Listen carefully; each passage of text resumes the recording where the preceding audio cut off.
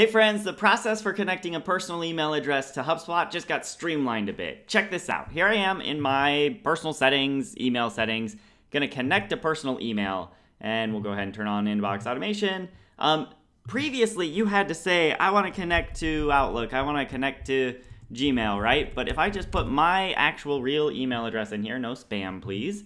Uh, look, we detect that your email is hosted by Google. We recommend connecting to Gmail. Connect to Gmail. And if you would rather, like, nah, actually, we use Gmail, but we use Outlook on top of it or something, then you can still do that. But we're just trying to make it a little easier for you to get this job done. This is now live.